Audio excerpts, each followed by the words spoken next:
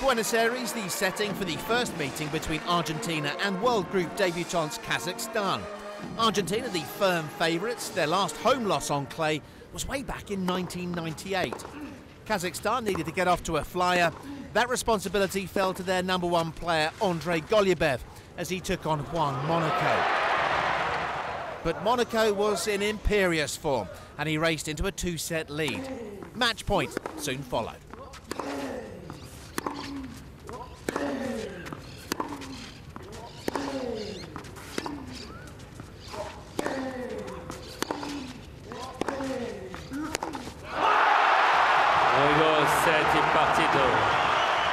Golubev easily dispatched. One love, Argentina.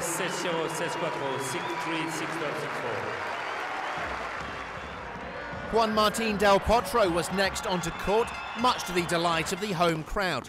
Mikhail Kukushkin was charged with the task of thwarting the South Americans' progress.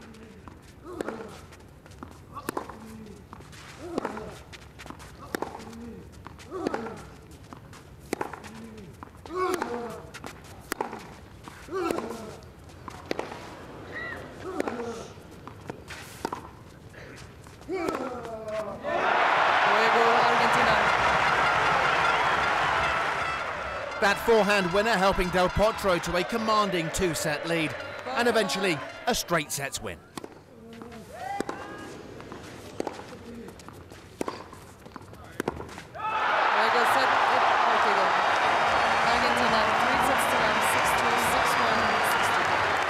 A triumphant return for Del Potro, and it was 2 love Argentina.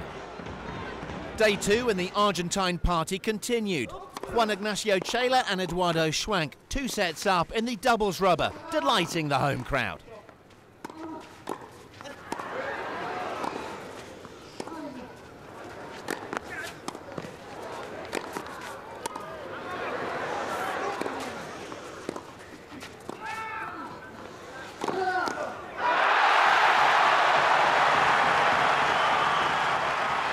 Evgeny Korolev and Yuriy Schukin had no answers.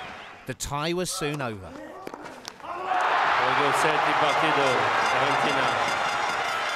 Argentina yet to lift the Davis Cup and three times runners-up. Will this be their year at last?